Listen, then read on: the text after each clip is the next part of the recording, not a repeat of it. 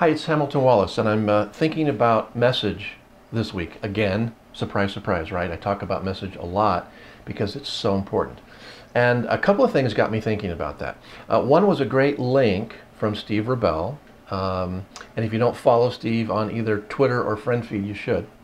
He's a, a very smart guy. To a, uh, a graph by a uh, Thomas um, uh, pardon me if I'm mispronouncing your name, but the graph shows how how we communicate over the uh, the decades has changed, and the point uh, that I want to make with you is that regardless of whether or not you're um, you know um, doing an ad in 1967 in Life magazine or you're doing a blog post today, if you don't have anything particularly interesting to say, well, then you're not going to get traction. You're not going to get followers. You're not going to get noticed.